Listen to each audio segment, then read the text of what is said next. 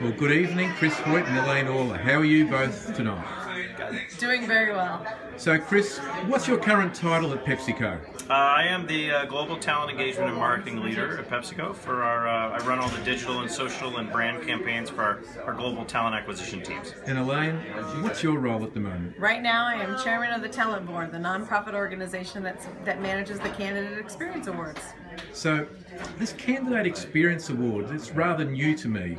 What's what's all the noise about? What's on with this stuff? What a great question. Well, a candidate experience in general for us has been about that journey that that job seeker's taking from the process from the very point in which they make an interest in an organization to the end which they're either hired or dispositioned out. And the candidate experience is the opportunity to recognize companies who have done incredibly great things to honor their candidates and to give them a great experience, like PepsiCo, as a matter of fact. Oh, So, Chris, what's it been for you guys?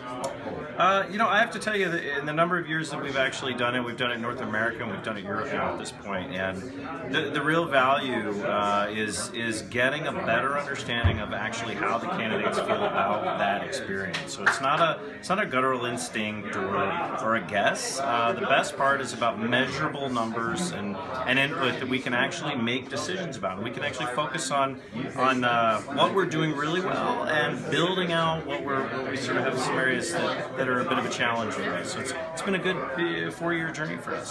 So, Elaine, you're coming to the ATC. What do you hope to achieve?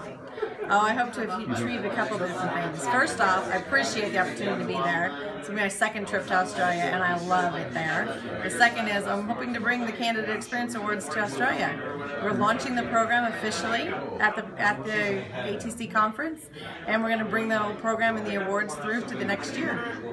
So, we're going to be educated in Australia by Yanks. Okay, yes, maybe. So, why do you guys like Australians anyway? well, I know it's the wine. I'd say it's the guts. There's no fear. So, uh, you know, there's no fear of candidate engagement. Take it on.